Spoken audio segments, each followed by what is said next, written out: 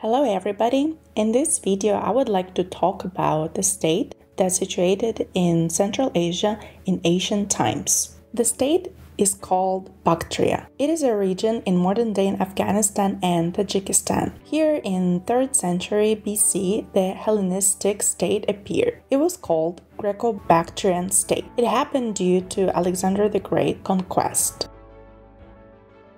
Bactria to the south and east was bordered by the Hindu Kush mountain range. On its western side, the region was bordered by the Great Carmanian Desert, and to the north it was bound by the Oxus River. Bactria was the furthest province of Achaemenid Empire. After the defeat from Alexander the Great in the Battle of Gaugamela, Persian king Darius III wanted to retreat to Bactria to gather new forces to fight back Alexander. But on his way, Darius was killed by Bessus, a Bactrian satrap. Bessus pronounced himself a Bactrian king. But Alexander, who thought of himself as a new Persian king, could not allow Bessus to exist, so he followed him through Amudarya River and Bactria until Sogdiana, where he killed him. Bactria became a province of a new Macedonian empire. Alexander stayed there for two years, crushing the opposition. Alexander got married to a local woman, Roxana. After Alexander's death, Bactria was under control of Seleucids. They continued spreading Hellenistic culture on all eastern territories of Persia. One of the biggest cities, Alexandria Eschate, was founded at the southwestern end of the Fergana Valley, modern day Tajikistan, in August 329 BC.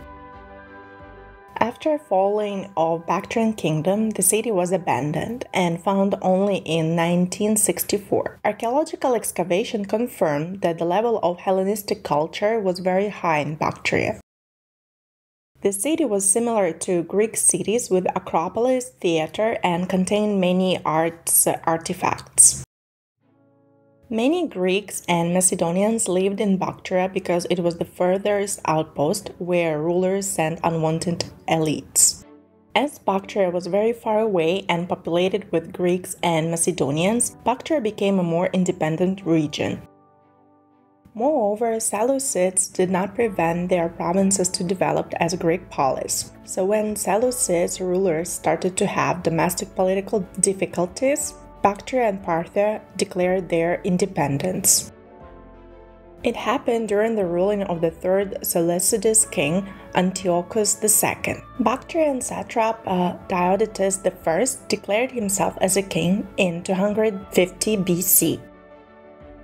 Antiochus was busy with problems in Palestine and Anatolia and could not immediately react to the events in the eastern provinces.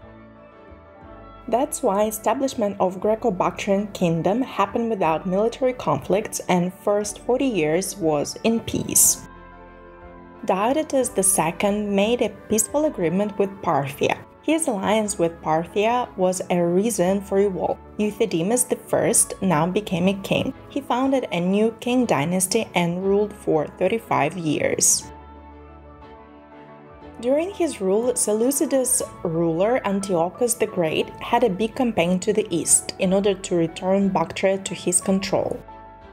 Two years they besieged Bactrian capital, but in the end proceeded to negotiations. Euthydemus accepted Seleucid supremacy, but was able to keep his status in Bactria.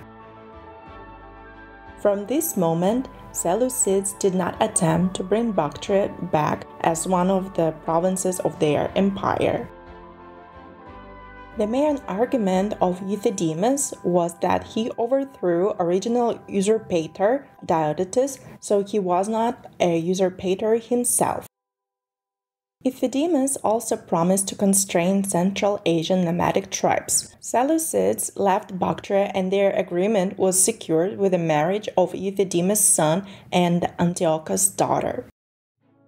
In the beginning of the 2nd century BC, Greco-Bactrian kingdom started expansion towards India. It was possible due to dissolution of Maurya Empire. Also, they tried to return lands in Indus River basin which were conquered by Alexander the Great. Indian campaign was very successful. Greco-Bactrians came close to the river Ganga, where fought with Shunga Empire. Greco-Bactrian kingdom now included territories of modern Pakistan and northwestern India. But while forces were in the east, in Bactria the revolt happened. A new king became Kratides I. Euthydemus dynasty could not return Bactria to its control, while Eucratides could not conquer Indian territories. So the kingdom was divided into Greco-Bactrian and Indo-Greek kingdoms. The division weakened Greco-Bactrian kingdom. Its rulers were preoccupied with problems on Indo-Greek kingdom border. So Parthia decided to use this moment and conquered its neighbors. In 125 BC, Bactria was fully occupied by a nomadic tribe coming from China, Yuezhi, and did not exist anymore. Indo-Greek kingdom existed for 50 more years, but slowly was becoming smaller, and by the middle of the 1st century was situated only in Punjab. That kingdom was divided into two, ruled by two different kings. In 10 year BC, Scythians conquered the last Indo-Greek kingdom. Now it became an Indo-Scythian kingdom. That's it for today. I apologize if I mispronounced the Greek names, but it's very hard to pronounce them for me. Thank you for watching my videos, please subscribe to my channel and I'll see you next time. Bye bye!